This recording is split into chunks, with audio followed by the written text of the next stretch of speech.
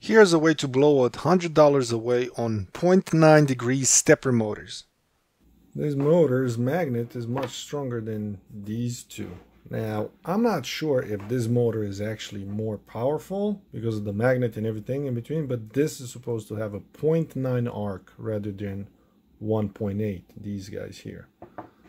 So I upgraded them in my uh, TwoTrees Sapphire. Let's get into it.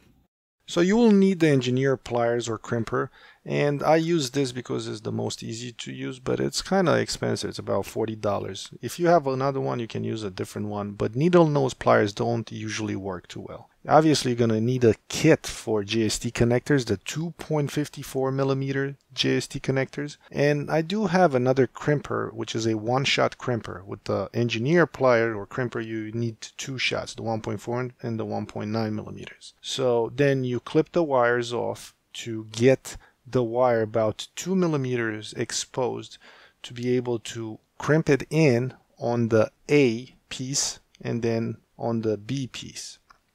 So this is the wire not being clipped and then we're going to see the wire being clipped right here.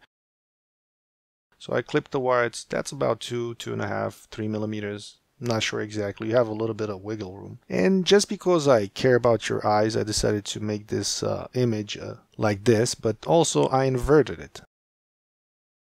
And this is the top view of the JST female pin. This is the side view. And then you have the A side of it, which is the smaller clip, and then the B side, which is the higher clip or the larger clip and you use the engineer 1.4 millimeter on the A side and the 1.9 millimeter on the B side but you do not pull too hard. See that's the A side which is the first side that's clipped on the A side of the JST connector and then this is the B side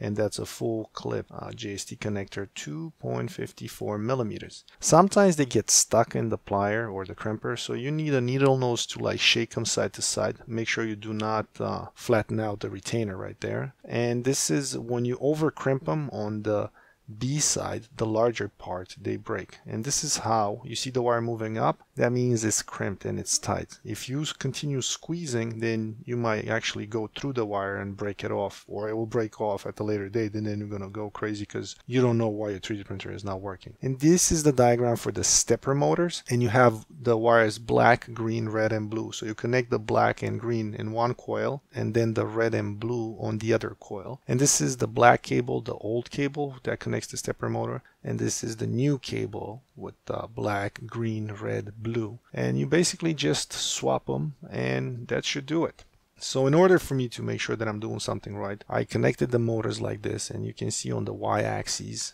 being this is a core XY, they spin in opposite directions. And on the x-axis, they spin on the same direction. After this, you have to increase the stepper steps so mine were at 640 per stepper motor on each of the axes. So I doubled those to 1280 because the degrees now are 0.9 rather than 1.8. So you get finer precision, but that remains to be seen if you can actually detect that in your 3D prints because I only 3D printed one thing and um, I don't have a microscope to look and I decided to print it with whatever filament it was in the printer and it's white and it doesn't really reflect the light too well so you can visually inspect it and see that whoa yeah this is a better 3D print than before. So I also only changed the two steppers. I didn't change the Z-axis stepper or the um, Titan extruder stepper because I thought it's not that important. I think I could change the z-axis one, but I just got lazy. I do have four of them, but I only changed the two. I want to see if it's worth the change or not. But I have to compare with all 3D prints. So here I just decided to 3D print quickly. One of my 3D printing tests I designed in a Jiffy. So it's printing really, really fast and we don't have to do too much. And um, that should be it. And it works. That was the test I wanted to have, it, to see if it works or not. And that's how you change the steppers from, from 1.8 degrees to 0.9 degrees steppers. Or you can save the $100 and invest in your future rather than just take $100 from your future self. On this channel, I speak mostly about 3D printers and their particular specifications, features, or lack thereof. Sometimes I may throw a wrench in the system with a review about my computer setup and or car fixing video. If you think you can stomach this type of format, throw me a like or a subscribe. Thank you.